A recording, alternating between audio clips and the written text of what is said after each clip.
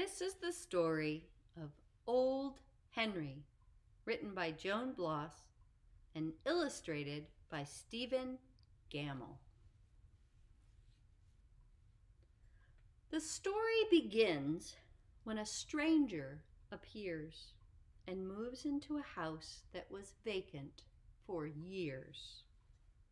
No one thought he meant to stay. The house was drafty, dark, and gray, and more than seven years had passed since anyone had lived there last. He meant to stay.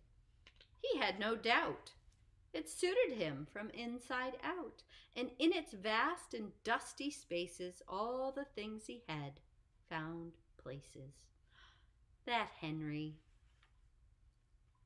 The neighbors watched him moving in and promised each other he'd soon begin to fix things up a bit. He did not think of it.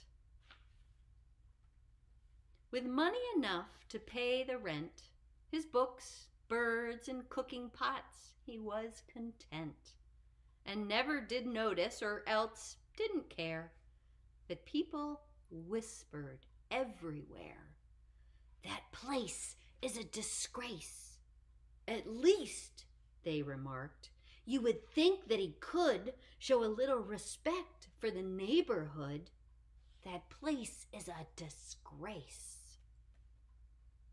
At last they decided to form a committee and went to him saying, We are proud of our city.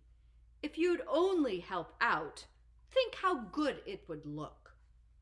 Excuse me, he bowed and went back to his book. That Henry. Then they fined him fines. They threatened jail. They wrote him long letters and sent them by mail. Dear Henry.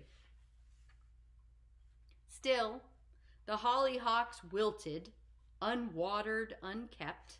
The gatepost stayed crooked. The walk stayed unswept and things went on as they'd begun. And he angered his neighbors one by one. Can't we make him sweep his walks? No, there's nothing we can do. Oh, you nasty Polly, sure, shoo, bird, shoo. On a day in November, they sought the advice of the mayor, who suggested being nice. Being nice? Please, try it twice. But when two of the ladies baked him a pie, he said, I'm not hungry. No, thank you. Goodbye. And when three of the men said they'd shovel his snow, he quickly said, No. We told you so. Now Henry too had had his fill. That night he grumbled, I never will live like the rest of them, neat and the same. I am sorry I came. Then he packed some things in shopping bags and tied the rest in three old rags. He didn't make plans, he just left a short note, a hastily written, Gone to Dakota. He taped it to the big front door, and no one lived there any more. His daylilies bloomed, his phlox grew tall. They picked his apples in the fall. They picked his apples, and now and then someone would ask, Remember when? Remember when? Remember when? Later still, in winter's snow, they asked one another, Where did he go? Will he come again? His house looks so empty, so dark in the night. And having him gone doesn't make us more right. Oh, that Henry. Maybe some other time we'd get along, not thinking that somebody has to be wrong. And we don't have to make such a terrible fuss because everyone isn't exactly like us.